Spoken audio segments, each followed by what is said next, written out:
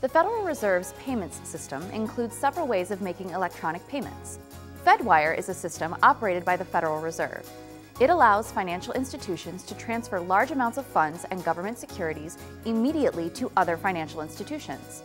They use FedWire to settle trillions of dollars worth of transactions a day. We're able to provide services to financial institutions that enable uh, especially wholesale payments to be made in a secure and safe and efficient manner.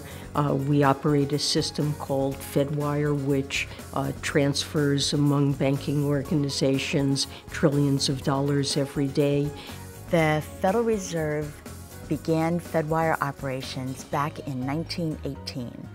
In the early days, we used Western Union telegraph lines to transmit the Fedwire payment instructions.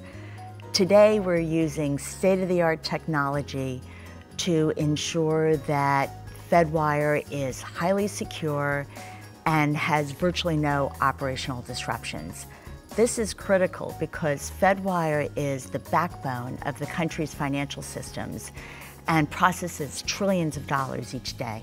An automated clearinghouse, or ACH, is an electronic network for processing financial transactions. These can include the direct deposit of your paycheck, or your grandparent's social security check, or your online payment of your cell phone bill. Each day, the Federal Reserve's ACH service processes tens of millions of financial transactions worth billions of dollars. But, on average, each ACH transaction is only a couple of thousand dollars.